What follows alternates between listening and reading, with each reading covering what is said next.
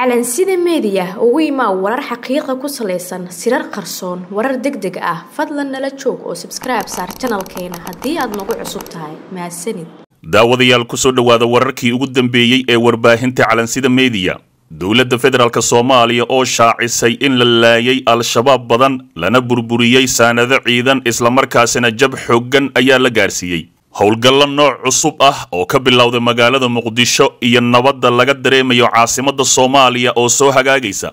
In ka badan soddon iyo saddex kun oo arday ayaa u fadhiisatay imtixaanka dugsiyada sare.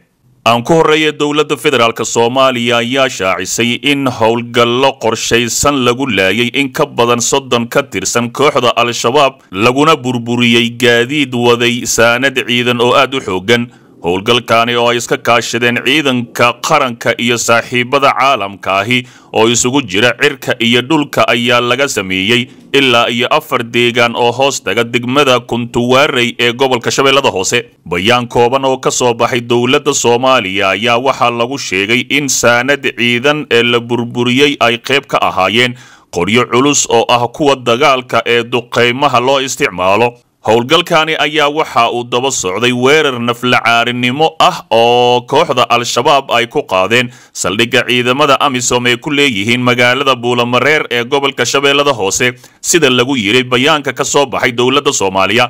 Bayaankaani ayaa sidoo kale waxaa lagu yidhi uruurinta xogta howlgalkaani oo weli socday awgeed waxaa dib ka soo gudbin doonaa faahfaahinta howlgalladii iyo dhimashadii xasuuqi loo geystay khawaariijta al-shabaab howlgalkaani ayaa imaanaya kadib weerarkii waaberigii kooxda al-shabaab ku qaadeen saldhigga ciidamada admis ee magaalada buulamareer kaasi oo ka dhashay khasaare isugu jira dhimasho iyo dhaawac. Admis ayaa dhankeeda sheegtay in hadda xaaladda la dejiyey islamarkaasina ay howlgalladu sidoodii caadiga ahay u sii socdaan waa ayna sii laba jibbaari doonaan. Saldhiggana waa aan haysannaa ayay dhaheen khawaariijtana waxaan gaarsiinay jab aad u xooggan si kastaba weerarkaani ayaa imaanaya xilli dhowaan la qorshaynayo in uu si rasmi ah u bilowdo wejiga labaad ee dagaalka al-shabaab ka dhanka ahi kaasi oo qayb ka noqon doonaan ciidamo ka socda dalalka dariska ahi. Waxaana la rajaynayaa wejiga labaad in gebi ahaanba lagu soo afjaro ururka khawaariijta al-shabaab. Guulaha isdabajoogga ahi oo ay gaarayaan ciidamada xoogga dalka soomaaliyeed iyo kuwa ka taageero dhanka cirka ayaa maalmahani si isdabajoog ahi ugu soo badanayay deegaanada ay ku xoogan yihiin khawaariijta al-shabaab.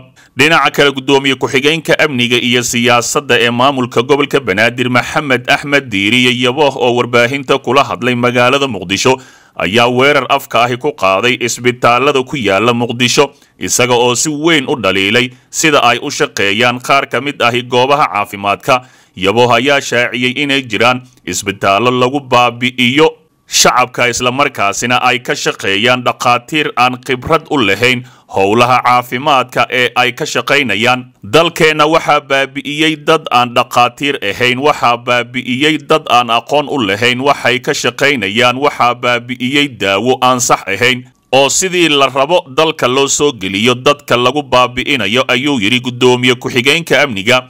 Sidoo kale wuxuu tilmaamay in maamulka gobolka uu bilaabi doono howlgal nooc cusub ahi oo lagu beegsan doono dadkaasi gaar ahaan dhakhaatiirta aan khibradda xooggan lahayn ee ka shaqaynaya caafimaadka iyo dadka ka shaqeeya farmashiyaasha lagu iibiyo daawooyinka ayuu yidhi.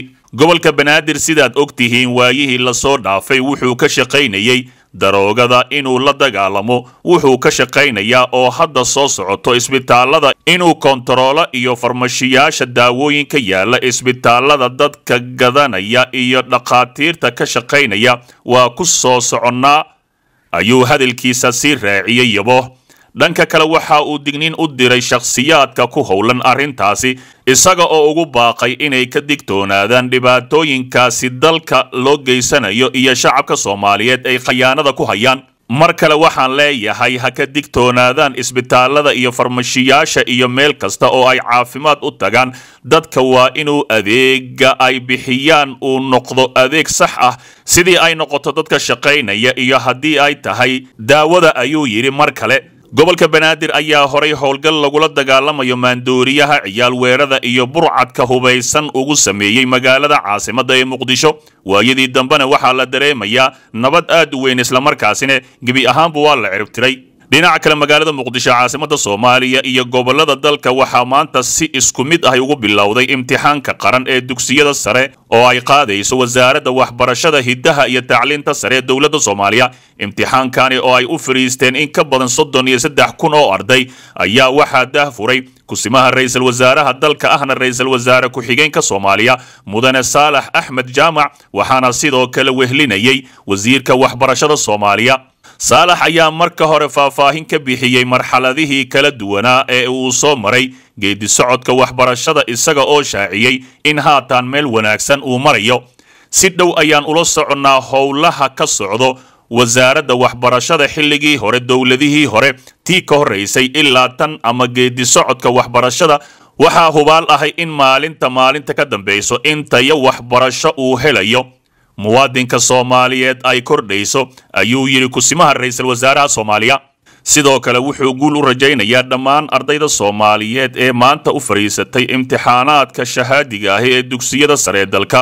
Guul iyo gobonnimo ayaan u rajaynayaa dadka soomaaliyeed gaar ahaan dhallinyarada ardayda ahi ee maanta imtixaanka maraysa ayuu yidhi ra'iisul wasaare ku-xigeenka dalka.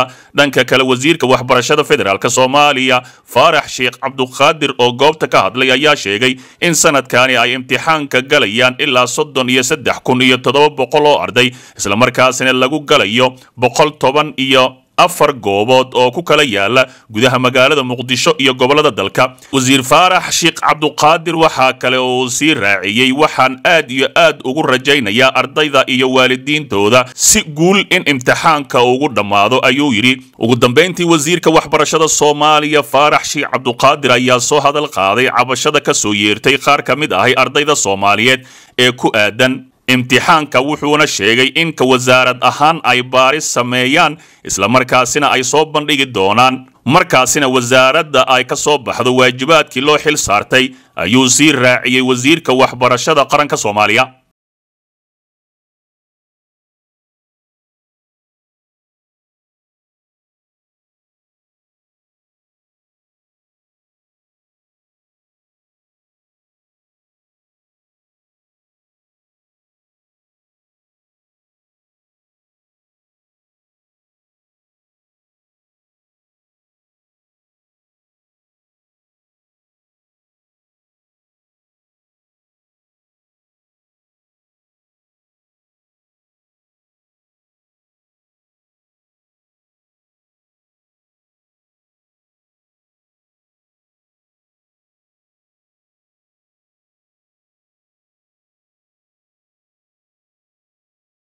dhegaystow ogow haddaadan xalka qayb ka noqon waxaad qayb ka tahay dhibaatada dalka